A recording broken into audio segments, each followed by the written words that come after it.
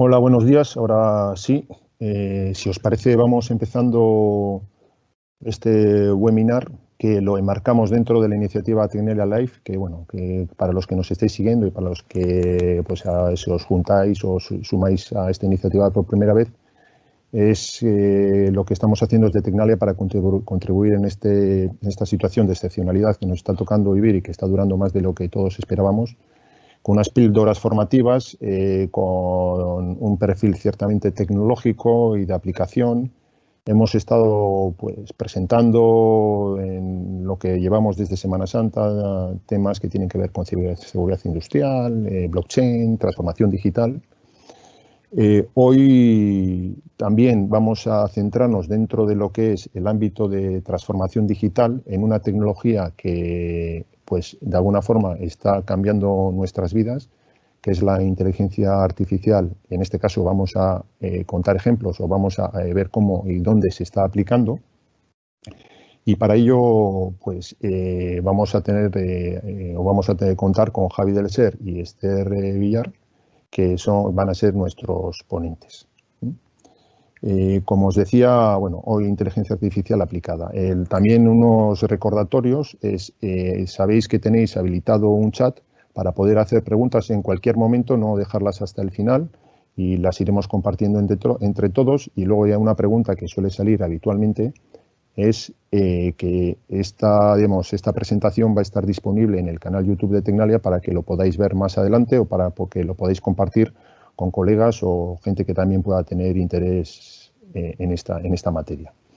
Como os decía, hoy contamos con Javi del Ser, que es responsable del Joint Research Lab en Inteligencia Artificial, una iniciativa que tenemos eh, conjunta Tecnalia Universidad del País Vasco y BECAM, y también contaremos con Esther Villar, que es la responsable de la, la plataforma de inteligencia artificial en Tecnalia. ¿Mm?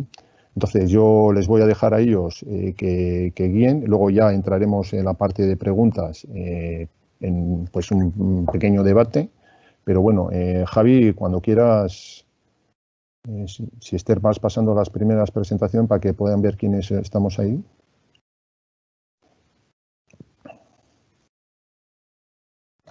He lanzado a Javi para que saludes, así nos presentamos los dos un poco por encima.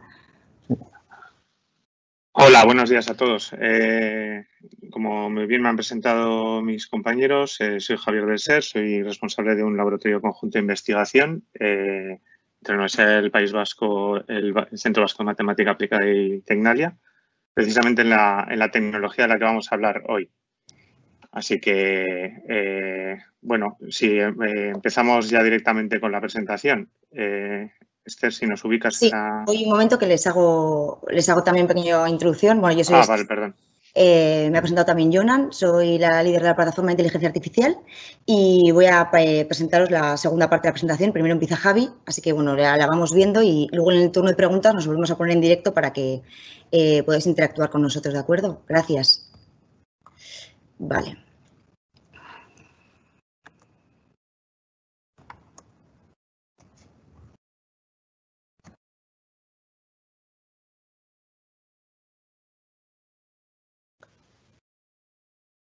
Vale, de acuerdo. Bueno, vamos a empezar con, el webinar de hoy. Eh, como ha introducido antes eh, Jonan, vamos a hablar sobre inteligencia artificial aplicada.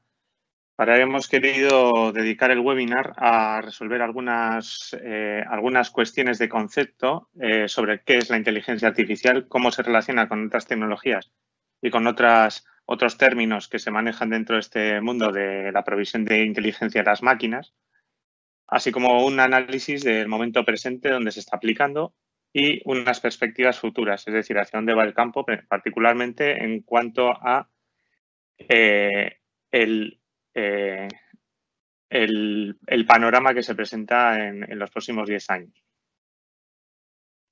Vale, eh, ¿Qué es la inteligencia artificial? Bueno, eh, básicamente es un concepto muy abstracto eh, para, para, cuya comprensión hemos querido primero hacer una disección, de la misma manera que cuando queremos entender cómo funcionan los diferentes órganos de una rana y la diseccionamos, pues aquí vamos a diseccionar lo que es el término de la inteligencia artificial. Dos palabras, inteligencia y artificial. Inteligencia, obviamente, es saber hacer algo, una tarea con eficiencia y destreza. ¿De acuerdo?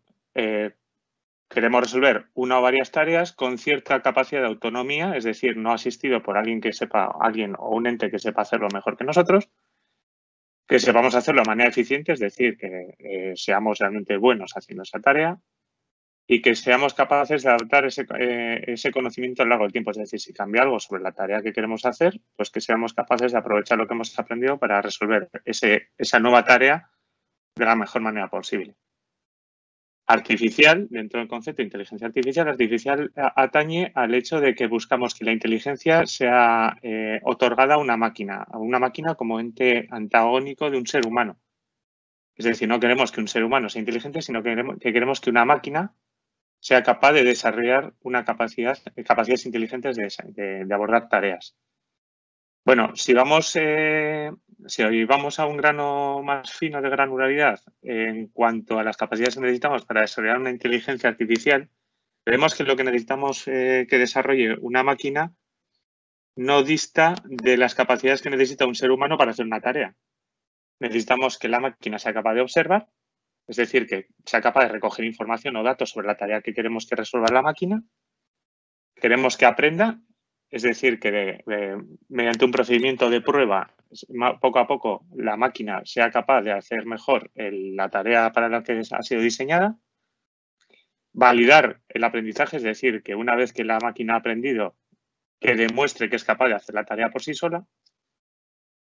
Que retenga ese conocimiento, es decir, que ese conocimiento tiene que estar persistido, tiene que estar almacenado, tiene que ser capaz de eh, replicar el desarrollo de la tarea para el cual ha aprendido y tiene que ser capaz de adaptar el conocimiento. Es decir, que si la máquina, o haciendo el, símil con el ser humano, ha aprendido a andar en bici, si le preguntamos por andar en moto, sea capaz de aprovechar parte de ese conocimiento, el conocimiento de andar en bici, en bicicleta, para andar mejor en moto. Bien, ¿y cómo lo hacemos? ¿Cómo lo hacemos en la práctica? ¿Cómo hacemos que una máquina eh, disponga de esas capacidades de observación, aprendizaje, validación, retención del conocimiento y adaptación? Bueno, pues buscando un modelo. ¿De acuerdo? Bien. ¿Qué es un modelo? Bueno, prometo que esta es la diapositiva más técnica de toda la presentación. Eh, realmente un modelo no es más que un programa de ordenador, ¿de acuerdo? No es más que un programa de ordenador que tiene unas, unas entradas, unas salidas y algo en su interior vamos a intentar diseccionar lo que es un modelo de inteligencia artificial. Los datos de entrada es básicamente la observación que he hablado en la diapositiva anterior. Es decir, es lo que permite al programa conocer datos e información sobre la tarea que quiere realizar. Unos datos de salida. Unos datos de salida es la salida del modelo, que no siempre es lo deseado. Ya iremos posteriormente en las siguientes diapositivas sobre qué es lo que nos interesa del modelo de, la creación del modelo de inteligencia artificial. Esos datos de salida van a estar ligados a la tarea que se quiere resolver. Una estructura de representación del conocimiento aprendido, es decir, cómo el modelo es capaz de persistir ese conocimiento, que es una de las capacidades que he hablado en la diapositiva anterior, por ejemplo, si es un árbol de decisión, una red neuronal, etcétera. Y un algoritmo de aprendizaje. Ese algoritmo de aprendizaje es el que le permite al modelo aprender a realizar la tarea. Es decir, ese modelo va a tener unos parámetros, va a tener unos sintonizadores, hablando como si fuese una radio, va a tener unos sintonizadores que vamos a poder afinar para que el modelo sea, modelo sea bueno desarrollando la tarea bajo análisis. Bien, ¿y qué estamos pensando por tarea? Bueno, si lo planteamos una tarea desde un punto de vista general que cubra muchas casuísticas, puede ser una de las siguientes tres eh, opciones. Podemos estar interesados en analizar la salida de un modelo ante una entrada dada. Es el primero de los casos representados en esa figura. Podemos buscar aprender un modelo que relacione unas entradas y unas salidas dadas. O podemos descubrir la entrada al modelo que resulte en una salida deseada. Dependiendo de dónde pongamos la interrogación, tendremos una u otra tipo de tareas. ¿De acuerdo? En las siguientes diapositivas vamos a ir desgranando a, qué se refiere cada una de esas casuísticas. Y lo que es muy importante es que si tenemos claro estos tres, estos tres casos, podemos entender casi la totalidad de todos los modelos de inteligencia artificial existentes.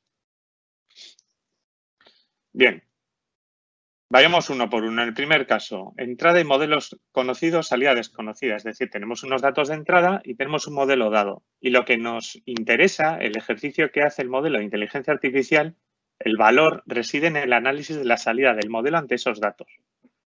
Lo que estamos buscando es encontrar relaciones de similitud entre diferentes datos de entrada, reglas que relacionen las variables que forman esos datos de entrada. Es decir, estamos buscando conocimiento dentro de esos datos de entrada a través de la aplicación de un modelo dado. ¿De acuerdo? Un ejemplo intuitivo es un proceso de segmentación de clientes eh, que podría hacer una empresa de seguros, por ejemplo. Lo que hacemos es cada uno de los clientes los eh, caracterizamos por una serie de variables y a través de un modelo separamos todo el portafolio de clientes de esa empresa de seguros en diferentes grupos que guarden similaridad entre sí respecto a las variables que los caracterizan. ¿De acuerdo? Es lo que se denomina modelización descriptiva. Estamos buscando dentro de los datos de entrada relaciones entre, entre relaciones que a priori un ser humano no podría observar ni inferir de manera evidente. Hay un montón de algoritmos dentro de los cuales eh, probablemente el más conocido son los algoritmos de clustering o de agrupación, donde precisamente definimos una medida de similaridad y vamos buscando grupos de instancias que sean similares entre sí. Bien, una particularidad muy concreta de este tipo de, problemas de modelado de, inteligencia artificial es que no se puede asegurar que dicho conocimiento exista. Es algo que también subyace en otros casos, pero en este particularmente como eh, partimos de unos datos de partida y la aplicación de un modelo, no sabemos lo que vamos a encontrar a la, salida del modelo. ¿De acuerdo? Aplicaciones prácticas donde, emerge eh, este caso, este caso de, modelado de inteligencia artificial, pues desde análisis de, la, de, compra, eh, en genómica también surgen, procesos de clustering en casi todos los, en casi todos los sectores, etcétera. Bien, vayamos al siguiente caso. El caso 2. Entradas y salidas conocidas, modelo desconocido. Partimos de unos datos de entrada y sus correspondientes salidas. Y lo que queremos es encontrar un modelo que relacione los datos de entrada con los datos de salida.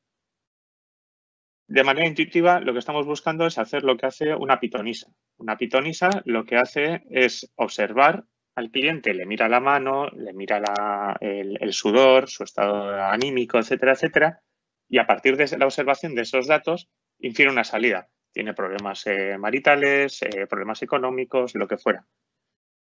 Esa pitonisa, para hacer esa predicción, lo que ha hecho es aprender de todos los clientes pasados en los cuales, viendo una serie de características de los clientes, ha sido capaz de asociar una salida y se la ha supervisado eh, esa persona. Es decir, esa persona, esos clientes pasados, en el momento en el que la pitonisa hizo una hipótesis sobre su estado marital, los clientes le dijeron si tenían problemas, si efectivamente tenían problemas maritales o no. Con lo cual ha ido aprendiendo de la experiencia. ¿De acuerdo? Está haciendo una modelización predictiva. Está aprendiendo a relacionar las características de los datos de entrada con una salida. En este caso, si tiene problemas económicos o problemas maritales. ¿De acuerdo? Aquí el algoritmo de aprendizaje eh, lo que busca es encontrar, asumiendo un modelo, encontrar el valor de su configuración, cuál es su configuración para que la relación que existe entre los datos de entrada y de salida sea lo más fidedigna posible. De tal manera que cuando se le, se le pregunta por otro dato de entrada, sea capaz de producir una salida plausible. Y aquí, en modelización predictiva, las aplicaciones son millones, infinitas, diría yo desde mantenimiento predictivo en sistemas industriales, donde lo que vemos son datos de una máquina y estamos tratando de predecir si esa máquina va a fallar o no en un horizonte determinado, propensión de compras, si una persona va a comprar o no según su perfil de compra, va a comprar o no un determinado producto, eh, fraude eléctrico bancario, predicción de valores financieros, procesamiento de lenguaje natural, bueno, hay muchísimas más hoy en día.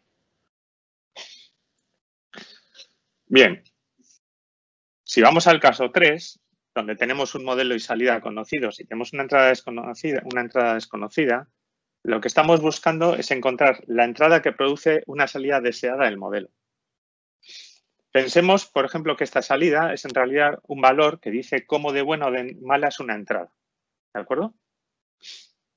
Eh, bajo, teniendo en cuenta este, este, supuesto, lo que estaríamos buscando sería aquella entrada que produce una, un valor de la salida del modelo que lo hace el mejor posible entre todas las opciones. Realmente, de todas las opciones posibles. Realmente lo que estamos hablando es de un problema de optimización, que es posiblemente eh, la rama de inteligencia artificial que encaja dentro de este caso 3, más aplicada en escenarios prácticos. ¿De acuerdo? Estamos hablando de problemas de optimización, pero no resueltos con cualquier técnica para resolver un problema de optimización, dependiendo de cuáles sean sus características, se pueden aplicar unos u otros algoritmos. No estaríamos hablando de cualquier algoritmo de inteligencia artificial, sino más de aquellos que son capaces de resolverlos de manera automática y basado en el aprendizaje. Es decir, que el propio eh, modelo sea capaz de poco a poco, el propio algoritmo de aprendizaje sea poco a poco capaz de ir encontrando de manera automática cuál es la entrada que produce un efecto deseado en la salida. ¿De acuerdo? Aquí la planificación de producción industrial, eh, las campañas de marketing personalizado, la planificación de redes de comunicaciones, el scheduling en redes de distribución de energía. Hay un montón de problemas que se pueden modelar bajo esta casuística. Y eh, les menciono que hay otros paradigmas que no son problemas de optimización per se, sí que están relacionados, pero no son problemas de optimización per se, que también encajan dentro de esta casuística, como pueden ser los, problemas de aprendizaje por refuerzo, donde tenemos un agente que lo que trata es de encontrar cómo tiene que actuar en un entorno para que se maximice una respuesta determinada. ¿De acuerdo? Bien.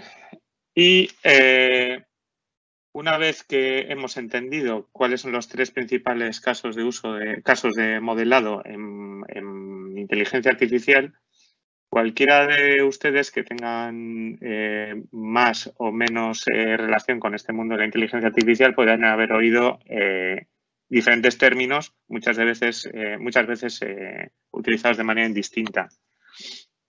voy a intentar apaciguar lo que llamo apaciguar la diversidad semántica.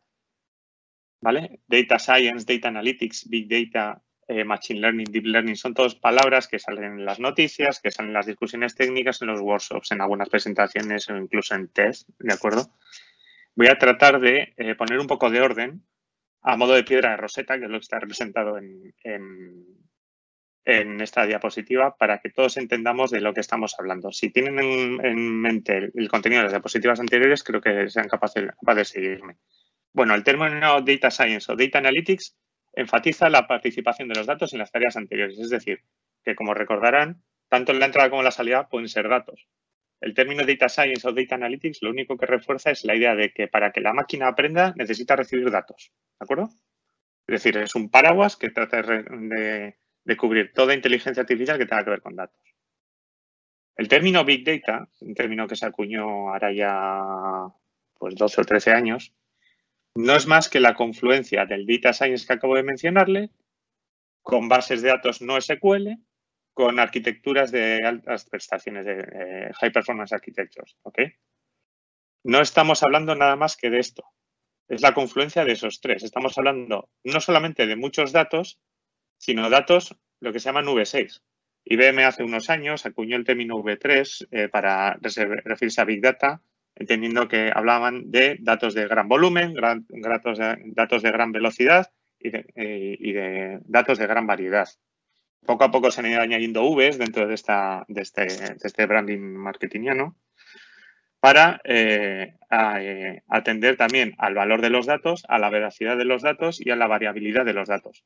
Si se fijan, por ejemplo, la variabilidad ya tiende a que puede el conocimiento aprendido dentro de los problemas referidos dentro de Big Data tienen que ser, tienen que acomodar la variabilidad que tienen los datos, es decir, que ya están yendo un paso más allá. Machine Learning, el aprendizaje máquina, aprendizaje automático, enfatiza la capacidad de la máquina para aprender a resolver una tarea ya solita. Es decir, se refiere más al tema del aprendizaje autónomo. ¿De acuerdo? Deep Learning es una rama particular de Machine Learning que utiliza modelos que tienen muchísimos parámetros para resolver problemas sumamente complejos, donde los datos de entrada o los datos de salida son tan, eh, eh, son tan complejos que necesitan modelos eh, fuertemente paramétricos, que sean capaces de representar mucho, mucho conocimiento, ¿de acuerdo? No es más que una rama concreta con unos, modelos concretos. Y principalmente se utilizan problemas con imagen y vídeo, ¿de acuerdo? Donde los, modelos tradicionales no son suficientes. Robotics es una de las aplicaciones de la inteligencia artificial, como muchas otras en robótica, ¿de acuerdo? Donde eh, hay paradigmas que, cobran mucha más importancia, como por ejemplo el aprendizaje distribuido. Y mi conclusión respecto a esta diversidad semántica es que tenemos que utilizar todos estos términos, pero todos estos términos, pero siempre de manera consciente y con criterio, ¿de acuerdo? Para no confundir uno con otro. Vale. Pasamos. Bien, con esto dejo, os dejo con, con Esther Villar. Vale, bueno, ahora que Javi ya os ha introducido un poco en qué es realmente la inteligencia artificial y cómo distinguir realmente los términos que son relevantes en este ámbito, os voy a intentar poner un poco al día con cuál es el estado actual, el estado del arte, de las tecnologías, por qué se apuesta y cuáles son los verdaderos retos en esta rama, ¿de acuerdo? Eh, bueno, empezamos por aquí y vamos a empezar con un, eh, un esquema de Garner ¿no? que suele dibujar año tras año acerca de las expectativas que se tienen las tecnologías, ¿de acuerdo? Cuáles son los picos, cuándo bajan, cuándo decaen. Y, bueno, voy a empezar diciendo sobre todo que, que, como dice ahí, hay evidencias claras de que la inteligencia artificial ha llegado para quedarse. No es un boom pasajero, no es algo que se vuelve mainstream y de repente desaparece, es algo que cada vez toma más fuerza porque cada vez las máquinas son más inteligentes, cada vez pueden computar más, eh, son más veloces y en realidad eh, queremos no que sustituyan a un humano, pero sí que queremos que le apoyen y que sepan eh, recomendarle acciones que quizás con nuestra mente, que también es limitada, la de todos, eh, hay cosas que se nos escapan y no somos capaces de ver. Entonces, bueno, ¿cómo no usar una capacidad de cómputo tan importante, eh, siempre supervisado por una, por una, por una persona? O sea, la máquina no se entrena sola, realmente, pero ¿cómo no utilizar las capacidades que nos dan ahora mismo las nuevas máquinas, la tecnología realmente, el hardware, el software por encima de él para sacar partido de esto, ¿no? Para conseguir un valor diferencial. Bueno, pues Gartner nos marca aquí en este gráfico em, dónde, empiezan, cómo están ahora mismo algunas tecnologías que, empiezan que van a empezar a despuntar en breves, ¿no? ¿De acuerdo?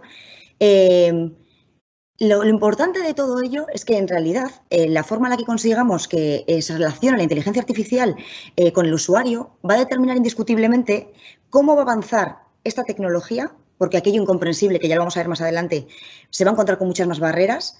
¿Y cómo avanzar, por un lado, para los grupos de investigación que trabajan con ello, como nosotros, pero también cuánto es el aporte diferencial que, va, que se va a derivar de la inteligencia artificial, ¿vale? En el entorno real. Eh, Garner, eh, bueno, indicó en esto, en el este es un gráfico del 2019, cuáles son esas expectativas respecto a las tecnologías, ¿de acuerdo? qué, qué, va a despuntar, qué no, dónde están los picos de bajada, dónde los valles, bueno, pues, eh, ¿dónde marco abajo la primera? Se llama eh, inteligencia artificial eh, general, también llamada strong, fuerte. Bueno, hace básicamente un, es un enfoque Skynet en toda regla y entonces, bueno, habla de, capacidades cognitivas muy elevadas, ¿de acuerdo? Habla de cómo las máquinas son capaces de entender, de asimilar y de aprender. muy vinculado a esta tecnología que os ha comentado Javi, que es Reinforcement Learning, que habla de eh, un, agente que lo soltamos en un entorno, un entorno que está vivo y, del que recibe eh, estímulos. Entonces, el, agente lo colocamos ahí, lo que queremos es que dependiendo de qué sucede en este entorno, sea capaz de, de tomar la mejor decisión. Por ejemplo, en el mundo dron, o en el mundo de las máquinas que son autónomas, es un típico caso de reinforcement, ¿vale? Cuando tú lanzas un agente y de repente tiene que ser capaz un dron de esquivar objetos, personas, o, tomar decisiones en base a lo que está ocurriendo en este momento y de forma muy rápida. E, ese paradigma de reinforcement, que ya nació en el 1960, que de nuevo tiene poco, que también se ha empleado mucho en las teorías de juegos, de aprender a jugar al eh, parchís, bueno, al parchís no que es muy fácil, pero al ajedrez, eh, hubo un juego también, no me sale ahora mismo el nombre, pero chino, que también batió a, los, a los que competían contra la máquina y fue fue muy sonado, ¿no? Porque, bueno, para un experto jugador, pues eh, casi es una cuestión de ego, ¿no? Que de repente te gane una máquina, pero bueno, al final es que la máquina tiene unas capacidades que eh, la mente humana eh, no, poseemos, esa es la realidad, ¿vale? Y claro, en este, este entorno, por ejemplo, de reinforcement, ¿cómo le hacemos realmente a una máquina aprender? Bueno, pues si recordamos un poco a Paulo, recordamos también que, bueno, esto está pasando un poco en esto, ¿no? En la teoría conductista. Si yo hago sonar una campana, voy a hacer que el perro aprenda que le toca la, que le llega la comida. Y de forma eh, contraria, pues quizás cuando se comporte mal, pues le pego un azote y la máquina empieza a entender que lo está haciendo mal. Y acaba entendiendo el dinamismo detrás de la interacción con el entorno. Y acaba aprendiendo a tomar buenas decisiones. ¿Qué marca también Garner? Bueno, pues marca HI, marca Cloud, eh, porque ahora cada vez más eh, los dispositivos que son pequeños, también un móvil es un dispositivo Edge, los sensores empiezan a tener capacidad de cómputo. Entonces, eh, la, realidad es que la diferencia entre dónde computamos y luego dónde lo procesamos, o sea, perdón, dónde lo computamos y procesamos y dónde lo recogemos, hay momentos en los que decidimos que no se hacen en el mismo, en el mismo lugar, en el mismo espacio físico. Y eso marca nuevos paradigmas, ¿no? Como por ejemplo el mundo Edge o el mundo Cloud, ¿de acuerdo? Hablando también de esta capacidad de cómputo, ¿cómo no va a aparecer, cómo no va a marcarlo Garner, Quantum Computing, ¿no? Eh, vamos a olvidarnos del mundo bit, del mundo binario, y nos vamos al mundo qubit, a supercomputadoras que son capaces de entender a partir de teoría física cuántica eh, problemas muy complejos a los que, la, computación tradicional tarda muchísimo en llegar a computar y en dar una solución que sea eh, eh, buena, ¿de acuerdo? pasamos entonces de un mundo binario, que es como el mundo de la computadora original, en la computadora clásica a una superposición de estados. Entonces, claro, los cómputos se vuelven a una velocidad que antes era impensable. ¿De acuerdo? Ahora está trabajando IBM, trabaja Google y, bueno, obviamente, pues Garner tiene que meterlo aquí. Y arriba nos aparece la gran sorpresa, ¿vale? En esta cuesta que se llama la ética digital. ¿Por qué aparece? Porque hay que marcar también cómo convivimos con la inteligencia artificial, ¿de acuerdo? Nos hace preguntarnos también si en este mundo de máquina todo vale y si una máquina, por ejemplo, o, quien, lo ha, o quien, le haya ayudado a aprender a la máquina, hay que eximirle de responsabilidades ante una decisión. Cuando he hablado de las, em, por encima de qué es lo que realmente necesita la IA, y también lo ha comentado Javi, hablamos de dos conceptos muy importantes, que es la capacidad de cómputo y la disponibilidad de datos, ¿vale? Entonces, claro, en este mundo, nosotros, los científicos lo que pedimos, ¿qué es? Pues bueno, los datos. Sin datos no somos capaces de hacer absolutamente nada. Eh, pero claro, buscando y, pidiendo con insistencia eh, la comparación de los mismos, también caemos en que al, universo en realidad le preocupa cosas como la privacidad, eh, quién me está vigilando, quién sabe de mí. Y entonces ahí hay que eh, poner eh, controles, hay que poner protocolos, hay que asegurar esa privacidad, ¿de acuerdo? Y entonces ahí Garner, ¿qué hace? Pues también mete calzador y arranca pues poniendo eh, gobernanza del dato, que no está marcada aquí en círculo, pero la veréis en la, en la lista, ¿vale? Es un término que es muy importante, coge cada vez más fuerza, porque en este entorno en el que cada vez pedimos más compartición de datos, más acceso, más permisos, obviamente hay que poner ley. A ver si me deja. Vale. Y esto es em, nuestro mapa de conocimiento, ¿de acuerdo? Esto es básicamente a qué nos dedicamos, qué es lo que sabemos hacer, eh, cómo resolvemos nuestros problemas y en qué, en qué entornos, en qué verticales de negocio eh, trabajamos. Arriba están las verticales de negocio, industria, salud, ciberseguridad, servicios digitales, bueno, eh, sector más TIC, energía o, movilidad, ¿vale? Son nuestros cores en el mundo de las verticales de negocio. Y abajo están eh, todas las tecnologías que nosotros dominamos, cuáles aplicamos realmente a estos problemas. Donde está, eh, fijaros también en los colores porque luego tienen relevancia, ¿de acuerdo? Eh, traditional Machine Learning, optimización, que como bien ha dicho Javi es algo que es ampliamente usado, y que son términos realmente y tecnologías con un alto grado de madurez técnicas que llevan implícitamente realmente eh, una gran labor manual, ¿de acuerdo? Hay una, hay una artesanía real y pura detrás de todas estas técnicas. Eh, no le metemos a la máquina cualquier cosa. El dato llega, lo procesamos, lo visualizamos insistentemente, lo transformamos y luego entonces, solo entonces, es cuando se lo entregamos al modelo. Este proceso nos permite entrar pues, en, estas verticales que os he comentado, por ejemplo, en industria, con gemelos digitales que simulan el comportamiento de las máquinas, detectores de anomalías o de fallas, eh, en el sector energético con, por ejemplo, predicción de la generación de energías renovables o predicción del propio consumo, o sector de movilidad, por ejemplo, estableciendo rutas óptimas para reparto de última milla o tomando decisiones acerca de dónde colocamos determinadas infraestructuras eh, vinculadas a la logística para optimizar un servicio. Y si nos fijamos en el color rojo de abajo, hablamos de esto que también introducido Javi, que se llama el mundo de Deep Learning. Em, que no deja de ser, en realidad, teóricamente lo que dice Deep Learning es, bueno, si tú estás haciendo algo manual antes de pasárselo al modelo, ¿por qué no cogemos esto que tú haces artesanal y se lo metemos propiamente al modelo? ¿De acuerdo? Hacemos una un, un, algoritmo mucho más inteligente que es capaz de saltarse esa parte en la que tú estabas trabajando insistentemente y de forma manual.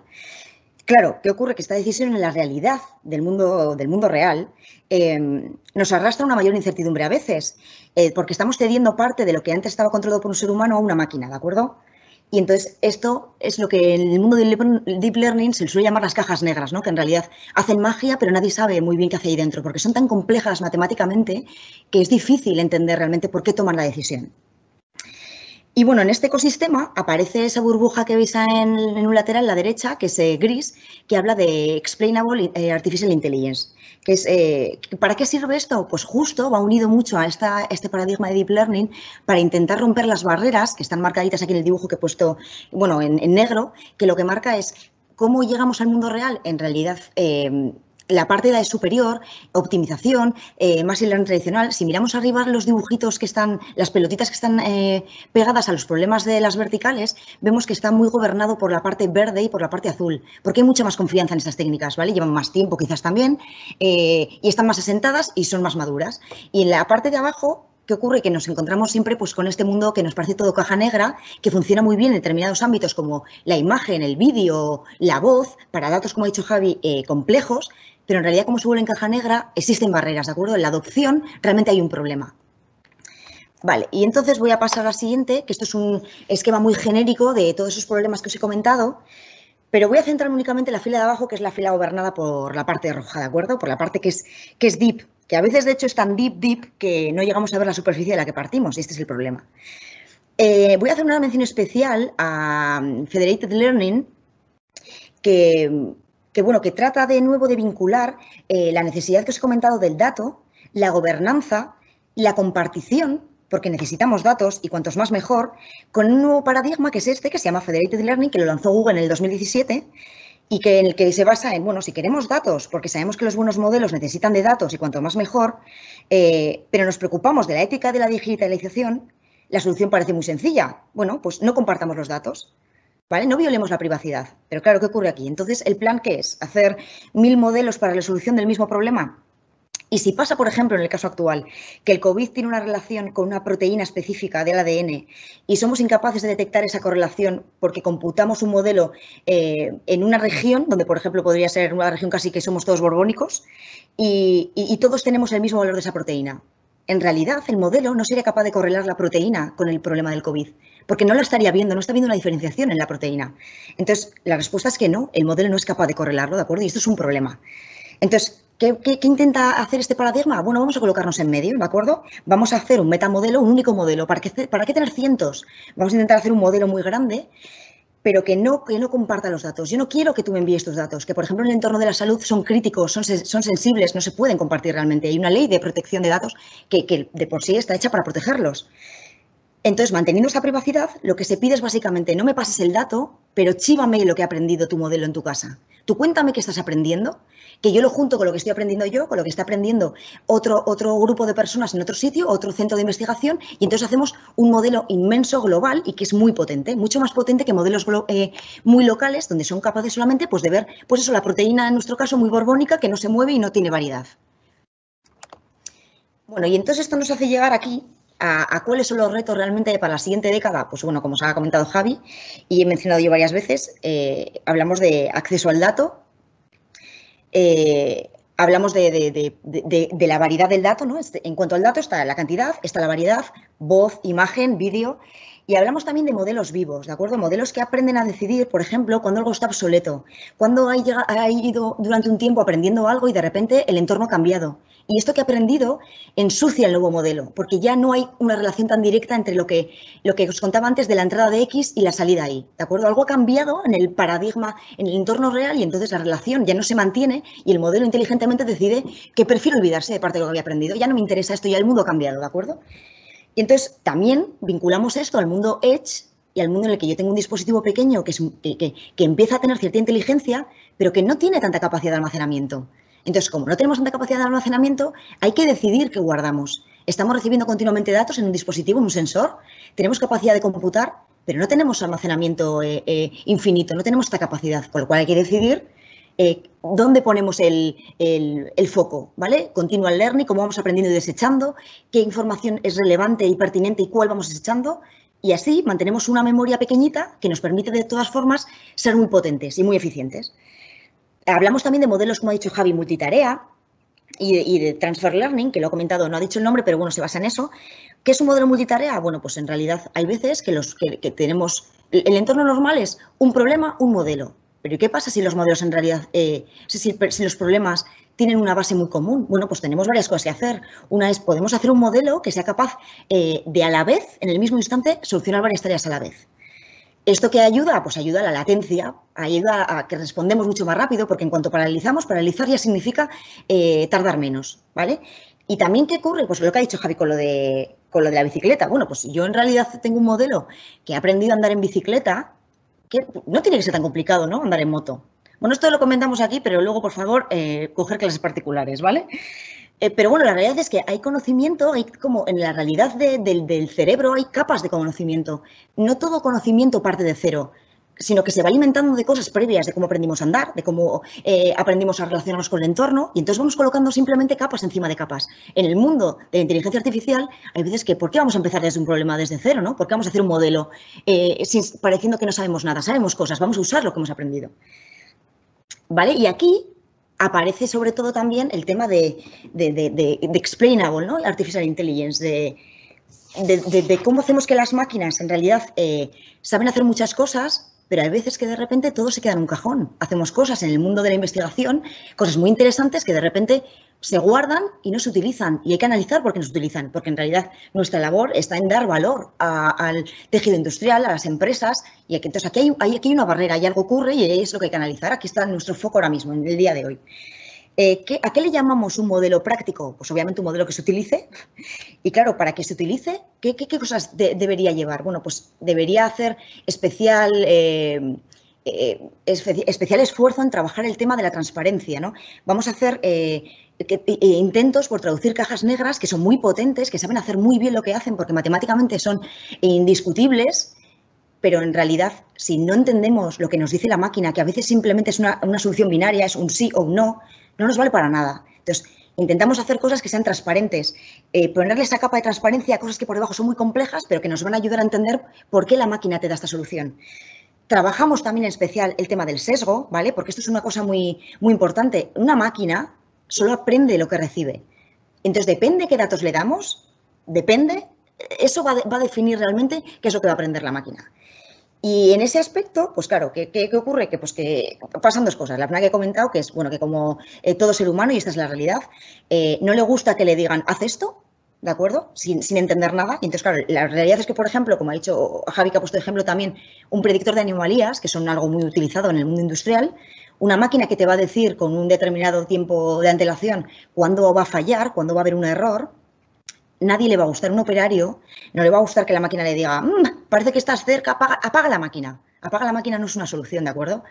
Porque no es una solución, eso puede ser una solución, puede arreglar el problema, pero en realidad el operario, cuando sabe, por ejemplo, que detrás de apagar una máquina está rompiendo una cadena productiva y que eso incurre en un montón de costes, si no le explicas por qué la máquina decide eso, seguramente la acabará guardando en un cajón y no la utilizará.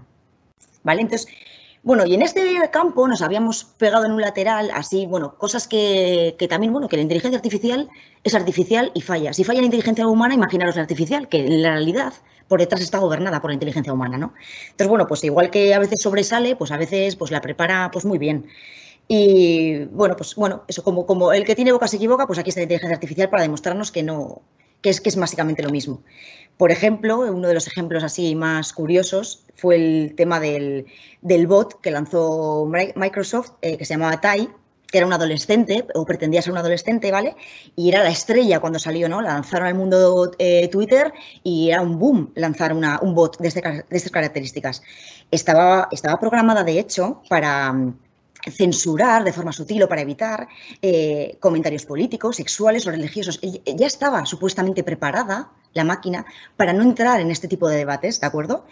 Eh, pero ¿qué ocurre? Que debería aprender de sus interacciones con, la gente que interactúa con él a través de Twitter para ella mejorar su interacción y volverse más millennial, ¿vale? Cada vez ser muchísimo más sofisticada y claro, en el entorno ideal, o sea, la solución ideal sería que nadie distinguiera si realmente era un bot. Bueno, pues ¿qué acabó escribiendo? Pues bueno, lo veis en el tweet de arriba, ¿no? Se volvió en unas horas, en unas horas, una energúmena, pero una energúmena de AUPA. Y como esto hay otros ejemplos, ¿no? Pues eh, modelos, por ejemplo, que son capaces, pues de a partir de una fotografía, eh, indicar cuál es tu orientación sexual y, defienden que, la, precisión es de un 91%, quiero decir que, vamos, que no es de un 2. O, o modelos que son capaces, por ejemplo, pues como estaban aquí las imágenes, eh, en el vehículo autónomo, que, parece que tienen mayor probabilidad de atropellar a una persona eh, negra que una persona blanca. ¿Vale? Esto todo tiene que ver con el dato, con cómo entrenamos los modelos. Entonces hay que tener especial cuidado con lo que le enseñamos porque no va a aprender más allá.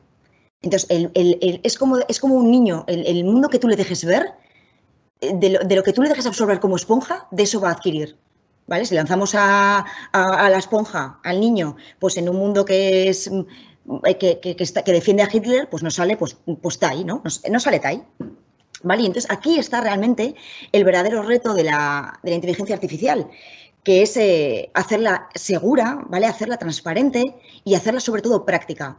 Eh, no permitir sesgos, eh, asegurarnos que lo que realmente entregamos va a ser útil, porque el operario lo va a entender y va a ser capaz de, eh, llegar a un acuerdo, como quien dice, de una interacción sana entre la máquina y él y decir, tiene sentido lo que me estás mostrando y entonces me ayudas, ¿vale? Eres una ayuda, no eres alguien que decide por mí.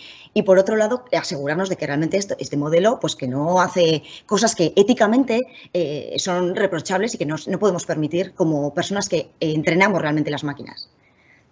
No sé si me he pasado de tiempo, en qué, en qué momento estoy. No. Voy bien. Y bueno, esto es la presentación genérica que hemos hecho. ¿Vale? Eh, aquí hemos puesto eh, los correos, porque si tenéis dudas muy específicas, estamos a entera disposición para que nos escribáis y nos preguntéis lo que necesitáis. Y creo que ahora Jonan se va a cargar del turno de preguntas. No sé si habéis estado escribiendo las preguntas, como ha indicado Jonan al principio, eh, y vamos contestando. ¿De acuerdo? Voy a apagar mi micrófono, de momento. Eh, gracias, Javi. Gracias, Esther. Eh, bueno, una presentación que yo creo que ha cubierto desde los aspectos más, digamos, conceptuales a lo que pueden ser aplicaciones y cómo se está aplicando. Como ha dicho, tenéis abierto el canal de preguntas. Eh, hay algunas que las hemos ido contestando in situ. Una, digamos, que habíamos comentado muy al principio, que era la que tenía que ver con esto, se estará publicado en el canal YouTube de Tecnalia, ahí tenéis el enlace. Por otra parte, eh, también algunos me preguntaban vuestros contactos que habían aparecido al principio, también salen aquí, eh, por si queréis alguna pregunta concreta tanto a Javi como a Esther. Y bueno, digamos, en Tecnalia estaremos a vuestra disposición. Y si os parece, voy comentando, voy lanzando algunas preguntas eh, relacionadas con todo esto. bueno, es una, bueno, alguien que, bueno, que parece ser que ha estado en esto hace algún tiempo, que ya en los 80 ya se hablaba de ella, eh, pues muy asociado a reglas y tal, eh, pero ahora es el momento. O sea, ¿qué diferencia hay? Entiendo que esto ha evolucionado, pero ¿por qué ahora? Y igual no todavía no estamos suficientemente avanzados en todo esto y tiene que ser más adelante. No sé, eh, Javi. Vale, ¿la contesto yo mismo? Sí, sí, sí. Vale, bueno, efectivamente el tema de la inteligencia artificial, el concepto de inteligencia artificial, la primera vez que se acuñó fue en los años 50-60 y efectivamente, eh, las técnicas que hoy en día subyacen detrás del deep learning y todos estos nuevos modelos de inteligencia artificial no son mucho, no son muy diferentes a las que ya había por entonces. Eh, la mayor diferencia es que hoy día tenemos un sustrato digital mucho más rico donde los modelos pueden aprender. Eh, Pensad en los años 50, 60, donde se está empezando a investigar en técnicas de inteligencia artificial, donde los casos de prácticos de aplicación eran nulos porque no había información de las que aprender, además de todas las dificultades de computación que había por entonces. Eh, de hecho, fue gran parte de esa desilusión, de, de, esa falta de practicidad de los avances en inteligencia artificial de por entonces lo que suscitó el, el invierno de la inteligencia artificial, lo que se llama el Artificial Intelligence Winter. Eh, hubo alrededor de los, a finales de los años 60, un escepticismo eh, generalizado alrededor de la inteligencia artificial por motivos técnicos y por motivos y, por motivos prácticos. Los motivos prácticos son los que acabo de explicar, los motivos técnicos pues había varios, desde eh, que los avances sobre teorías conexionistas alrededor del perceptrón demostraban que no los perceptrones, que son las unidades que subyacen detrás de las redes neuronales y del deep learning, no tenían una capacidad de representación muy elevada. el tema de la, de la, traducción automática, ya se veía que la traducción automática no funcionaba si no le dabas un contexto, es decir, que la máquina tenía que saber eh, la frase que tenía que traducir dentro de qué contexto tenía que, tenía que enunciarse.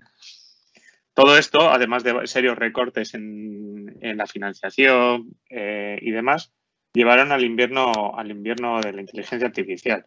Hoy en día ya no hay este invierno, por lo que os he, por lo que os he comentado. Hay muchísimos más datos, eh, se ha barateado mucho el silicio, se puede computar mucho más, eh, de una manera mucho más económica. Existen nuevas maneras de computar, como el GPU Computing, como el MapReduce de Big Data. Hay muchísimas, hay nuevos paradigmas de computación que permiten los modelos tradicionales hacer que aprendan en datos mucho más enormes y muchos más V6, que es lo que he explicado eh, anteriormente que por entonces. Y sobre todo, y es una de las claves que también en Tecnalia tenemos bastante clara, es la digitalización de los sectores tradicionales. Antes eh, solamente había datos en unos pocos sectores. Hoy en día la digitalización de sectores como la energía o como la industria ha permitido tener todo ese sustrato digital de donde poder aprender modelos de inteligencia artificial. Así que por eso es ahora el momento de la inteligencia artificial, porque jugamos en un playground mucho más rico para, aprender modelos que hace años. Vale, ¿hay alguna otra pregunta por aquí? Eh, si yo tengo un problema, eh, ¿tienes, eh, ¿cómo sé si tiene sentido utilizar la IA o puedo ir a, elementos más convencionales o a algoritmos más convencionales? ¿Cómo, trabajáis? Hay una pregunta que también eso. ¿Cómo trabajáis en Tecnalia para ver si esto tiene sentido o no? Vale, voy a, voy a contestar yo a esta. Me estoy, vale, a ver, creo que ahora me veis. Em, bueno, hace una pregunta muy interesante porque en realidad lo que ocurre cuando nosotros presentamos inteligencia artificial es que em, nos encanta hablar, porque pues, nos dedicamos al mundo de investigación, de grandes modelos, de grandes paradigmas, de cosas realmente complicadas matemáticamente.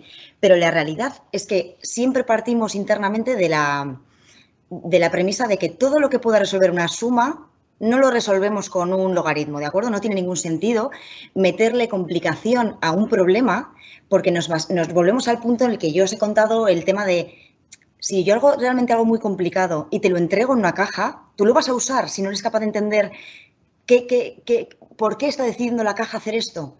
Entonces, ¿cómo empezamos? Pues realmente todavía seguimos manteniendo mucho esto que os he comentado al principio de la la vertiente del machine learning tradicional que se basa en mucha parte de, trabajo manual, ¿de acuerdo? En mucha parte, no te voy a decir manual, pero bueno, para que nos entendamos, eh, mucha artesanía pura. Te llegan los datos y te pasas un mes prácticamente viendo datos, viendo correlaciones, viendo cómo funcionan, viendo si existen tendencias, si hay estacionalidades o no hay estacionalidades. Y cuando tienes muy claro realmente cuál es el problema, porque has entendido el dato, porque también usamos dentro, en, este ámbito de artesanía, también usamos técnicas eh, básicas de inteligencia artificial, ¿vale? Pero son de machine learning mucho más, lo que os comentado, más tradicional. Eh, cuando hemos entendido bien los datos, entonces decidimos cuál es el nivel de complejidad asociado al dato. Si vas a venir con un problema, se me queda, me queda oscuras, pero veis, ¿no? Si, eh, si venís con un problema, por ejemplo, que tiene que ver con imagen, es muy difícil, a menos que el problema sea muy sencillo, que nos vayamos a machine learning tradicional, porque la imagen seguramente te va a pedir un mundo deep. Entonces, dependiendo del dato que tú contengas, si es de, si es algo de, como si de por sí el dato es demasiado complejo, imagen, vídeo, voz, seguramente te va a ser un enfoque mucho más complejo. Pero si traes una serie temporal, si traes datos que son al final binarios o que son numéricos, es muy difícil que, acabamos o vamos a intentar por lo menos no entregar cajas negras. Siempre vamos a empezar desde lo más básico, viendo cuál es la, el aporte que da en precisión eh, un enfoque un poco más elevado. Vamos subiendo complejidad y viendo cuál, si, balanceando si el aporte que te da en precisión al final te compensa. Porque muchas veces ocurre que en esta lucha de intentar que todo sea transparente y entendible, eh, llegas al cliente y le dices, bueno, mira, yo te hago básicamente, nunca, va a ser así, ¿eh? pero yo con una suma te consigo una precisión de un 0,90. Ahora, si te meto pues, logaritmos y senos y cosenos, te consigo 0,92. Y a veces te dice, mira, que paso de los senos y los cosenos. O sea, me tengo una suma porque la suma la voy a entender. Entonces, hay que hacer un balance entre cómo de práctico es lo que yo te entrego y de útil y de usable con la precisión que tiene. Y eso es algo que acaba decidiendo eh, normalmente, bueno, tiene que ser así, el cliente que tienes enfrente. Entonces, ¿dónde empezamos? Desde abajo, siempre desde abajo y vamos escalando. Según el dato te pide complejidad, añadimos complejidad. Si no te la pide, no tiene ningún sentido eh, hacer un sistema más complejo. Eh, vale, hay una pregunta que tiene que ver más con un campo, el avance de la IA en el campo de la salud. ¿Qué obstáculos nos podemos estar encontrando? Vale, voy a pasar a Javi ahora. Esperar un Vale, listo. En el avance de salud, ¿cuáles son los verdaderos retos? Oh, no, eh, obstáculos. Yo creo que los obstáculos que nos estamos encontrando, ¿no? Digamos más. Que bueno, puedes hablar de retos si quieres, pero bueno, ahí yo creo que está. Sí, obstáculos, bueno, realmente para mí, un obstáculo es un para mí un obstáculo es un reto. Eh, el primero es el que acaba de comentar Esther, que es eh, compartición de datos y confiabilidad. La compartición de datos es que, bueno, al ser, unos, ser los datos médicos, sobre todo los asociados a diagnóstico y, prescripción médica, sumamente sensibles, eh, son muy pocos los, eh, eh, las, instituciones médicas que están haciendo los datos. Ahí el problema no es tanto el modelado, aunque ya llegará, sino más en encontrar maneras de compartir los datos para crear modelos que sean sumamente precisos, respetando la privacidad que se le supone a unos datos tan sensibles. Ese es el mayor, el mayor eh, reto y es el motivo por el que hay grandes promesas alrededor del aprendizaje federado del que ha hablado Esther en este campo. Porque precisamente ese aprendizaje federado permite construir modelos de inteligencia artificial respetando la privacidad de los datos locales de los que aprenden. Eh, por otro lado, salvando este, este, este problema, eh, está el tema de la confiabilidad, de la explicabilidad a un paciente cuando se le da una noticia mala sobre su salud, eh, no, se le, mm, no se le puede dar esa noticia sin darle las razones por las que se le está dando ese diagnóstico. Una persona, un médico, cuando hace un diagnóstico, enseguida explica pues, que en la, en la radiografía ha visto una pequeña mancha y haciendo unos análisis médicos ha dado una sobreexpresión de lo que sea y con eso se ha determinado que esta persona tiene, por ejemplo, pues un, cáncer. En ese caso, eh, el paciente se siente confiado sobre el diagnóstico. ¿Por qué? Porque lo oye viva voz de una persona y porque esa persona tenía razones basadas en los datos. ¿De acuerdo? Expresa las razones de su modelo, que es su cabeza, su modelo, que es lo que ha visto en los datos que maneja. Claro, si esos mismos datos se los entregamos en una caja negra y esa caja negra nos dice eh, te quedan tres meses de vida, ¿hasta qué punto nos tenemos que fiar? Entonces, existe eh, bastante eh, reluctancia, no sé cómo dice, bastante rechazo por parte del personal médico y sobre todo los pacientes a adoptar este tipo de soluciones precisamente por su oscurantismo, ¿de acuerdo? Por su inexplicabilidad matemática. Eh, en esa línea sí que estamos trabajando en Tecnalia, en, explicabilidad, lo tenemos dentro de nuestra estrategia y, creemos que es eh, la llave para conseguir una inteligencia artificial más práctica en campos como el de la salud, pero no solamente como el de la salud, sino también en, políticas sociales, en defensa, en muchísimos otros, en muchísimos otros campos, donde las decisiones basadas en la salida de los modelos son sensibles. Vale, está habiendo muchas preguntas. Bueno, a ver si estamos yéndonos ya a final del tiempo. Hay un par de ellas que sí me gustaría comentar. Eh, bueno, la IA en, la, en mano de los malos. ¿Qué hay de la IA antagónica, adversaria a la IA? ¿Es una amenaza real?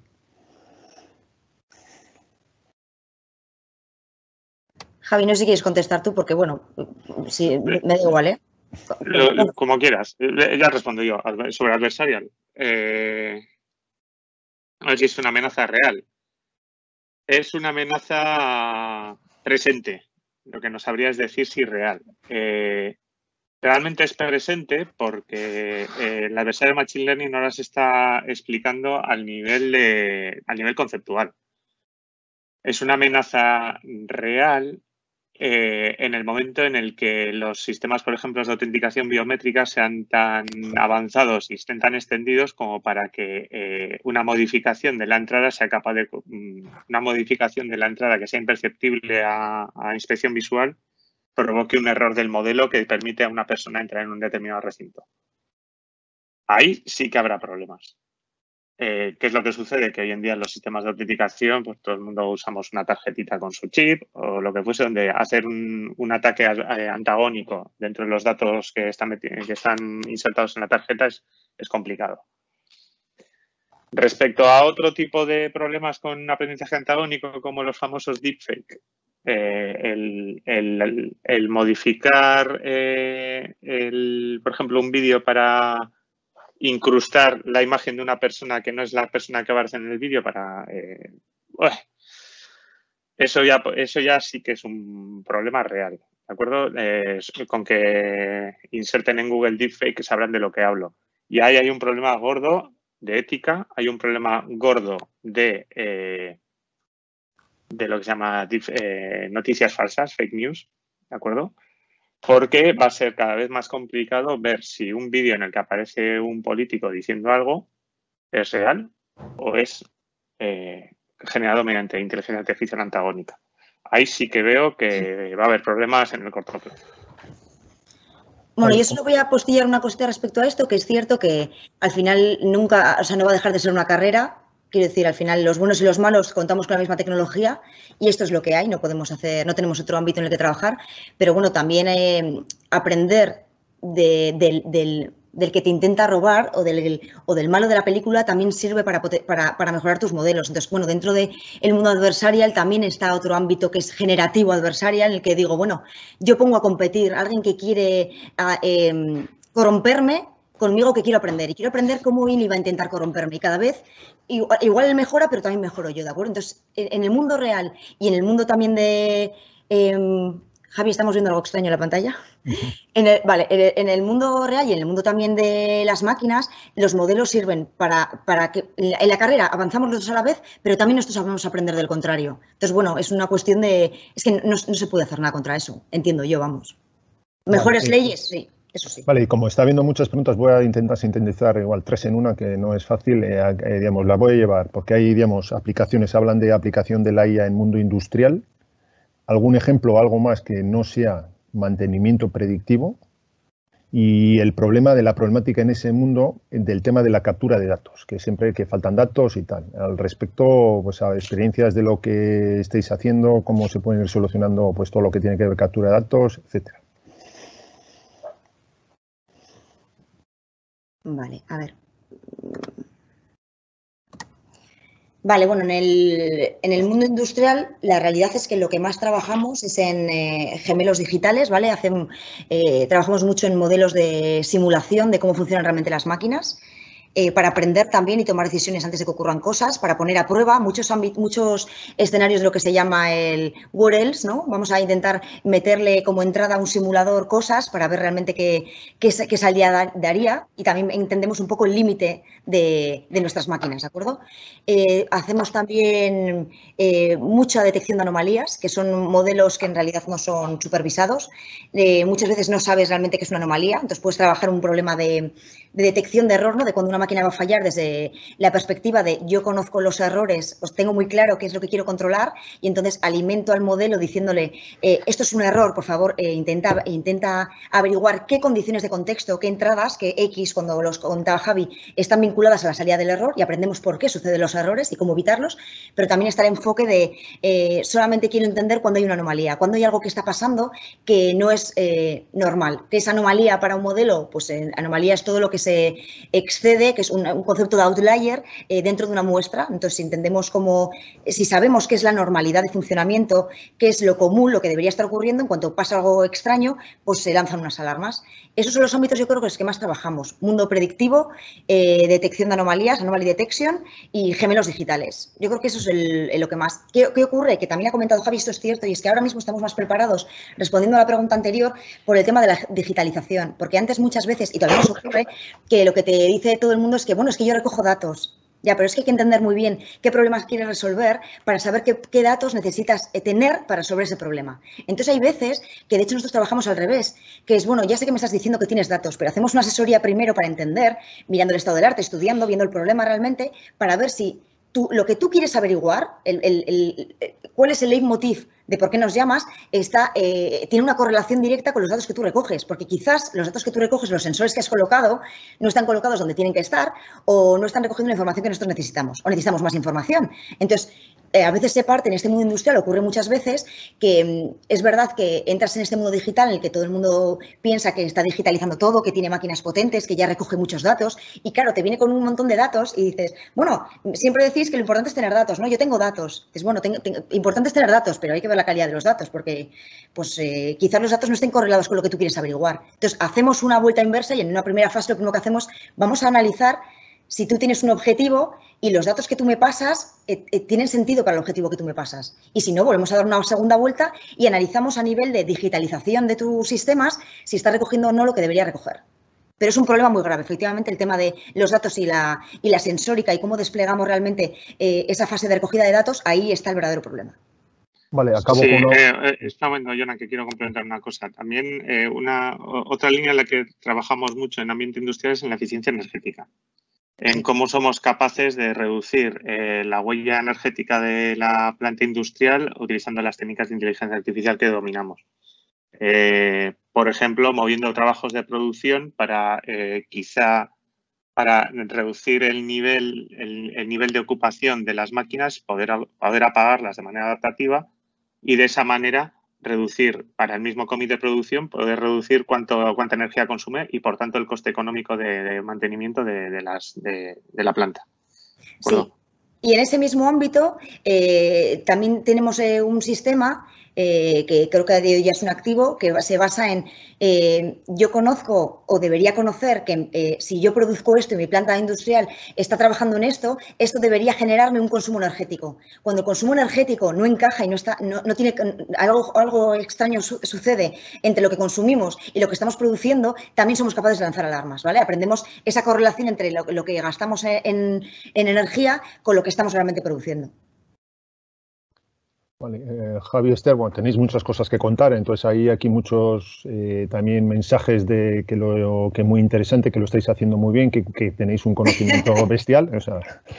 pero bueno, pero me, como ya no estamos yendo del tiempo que teníamos estimado, acabo, con una pregunta que vuelve un poco a la tecnología, estado del arte y tal. Eh, la pregunta es, en el estado del arte de la inteligencia artificial, ¿resulta más complejo definir los modelos o establecer patrones de autocorrección o censura del aprendizaje? En los modelos normales, o sea, lo que nos hemos venido encontrando siempre es que como seguimos tendiendo un poco al, más machine learning tradicional, ¿vale? A ser un poco puristas con el trabajo artesanal de los datos, la fase que más te consume tiene que ver con trabajar el dato.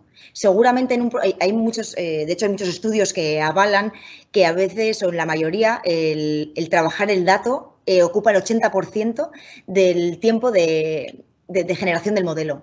Los modelos han avanzado mucho, eh, tienen capacidades muy complejas. Eh, la buena selección del modelo es algo muy importante, pero conocemos muy bien las técnicas. Tenemos mucho dominio ya de las técnicas y, tenemos un espectro de técnicas enorme. Entonces, el problema viene con que tienes que llevarte la técnica a un problema eh, concreto. Y en el trabajo en el que nosotros somos capaces de seleccionar y aunar bien los dos conceptos y hacer que para estos datos esta técnica sea perfecta, en ese trabajo previo artesanal, ahí es donde realmente consume muchísimo tiempo. Ahora es cierto que le añadimos esa siguiente capa de, bueno, cuidado, porque eh, say tenemos que trabajar muy bien los datos, pero vuelve a ser fase desde el principio. ¿Cómo censuramos realmente lo que aprende? Pues un modelo aprende lo que ve. Entonces, lo que tenemos que hacer es muchísimo más hincapié en esa primera fase, que ya de por sí ocupaba bastante, en decir, vamos a trabajar el sesgo. Si, por ejemplo, eh, ha pasado en algunos momentos, ¿no? Así como, bueno, como chascarrillo, que cuando salieron los eh, primeros eh, cinturones de seguridad, las pruebas se habían hecho mayoritariamente sobre hombres o sobre mujeres, pero ninguna embarazada. Entonces, de repente, cuando llegaron las mujeres embarazadas y tenían accidentes, los bebés fallecían. ¿Por qué? Pues porque en lo que se estaba estudiando no se había planteado con la muestra significativa de la población real. O, por ejemplo, se analiza mucho en, los sistemas que nosotros, de hecho, también tenemos, de, em, que automatizan eh, la temperatura de un edificio, por ejemplo, ¿vale? Que controlan cuál es la temperatura, activando o desactivando las, em, los termostatos, eh, los elementos que consiguen mantener esa temperatura en realidad lo que ocurre es que se ha medio demostrado, está trabajando en que las mujeres tienen una, eh, sienten frío a una temperatura diferente a la de los hombres. Entonces, si yo ahora mismo a una máquina le meto como muestra a todo hombres, ahí tenemos otro problema. Entonces va a llegar las mujeres al edificio y van a decir, bueno, pues yo me estoy aquí muriendo de frío, con la misma, y un hombre puede estar tranquilo ahí. Entonces, esa capa de la que se habla de censurar, de forzar que, realmente todo se basa en hacer algoritmos que sean generalizables. El entorno ideal es que yo haga en un laboratorio algo que cuando lo saco al mundo, como un bebé, eh, está tan bien formado, ha sido tan esponja en el entorno en el que tenía que estar y ha visto tantas cosas, que es capaz de resolver ese problema, le pongas lo que le pongas delante. Entonces, si yo lo entreno en mi casa y solo ve mi familia, cuando salga fuera, pues igual se encuentra con un mundo pues como Tai, eh, nazi, y dice, no entiendo nada de lo que está pasando. Entonces, eso vuelve a ser otra vez trabajo del preprocesamiento de los datos. Vuelve a ser otra vez alargar esa primera fase en la que tenemos que estar seguros de que lo que le metemos al modelo es bueno. Y luego, cuando se lo metemos al modelo, asegurarnos de que lleva otra capa encima en la que, si metemos un modelo muy complejo, tenemos que traducir lo que está produciendo el modelo. Porque si no, no va a ser útil. Pues eh, yo creo que ha quedado suficientemente claro. Esto puede dar para mucho más, pero bueno, yo creo que lo podemos dejar aquí. Agradecer, eh, las presentaciones claras y concisas de Javi y Esther. Y bueno, ahí tenéis los datos eh, por si queréis contactar con ellos para cualquier tema adicional. Y en principio agradeceros que sepáis que también eh, ya, hay ya, ya están establecidos los webinars que vamos a mantener la semana que viene también dentro de esta iniciativa Tecnalia Live y pues, donde os podéis apuntar en la web de Tecnalia. Dicho todo esto, agradecer también vuestra, la presencia de todos y hasta otra. Sí, muchas gracias a todos. Gracias, hasta luego.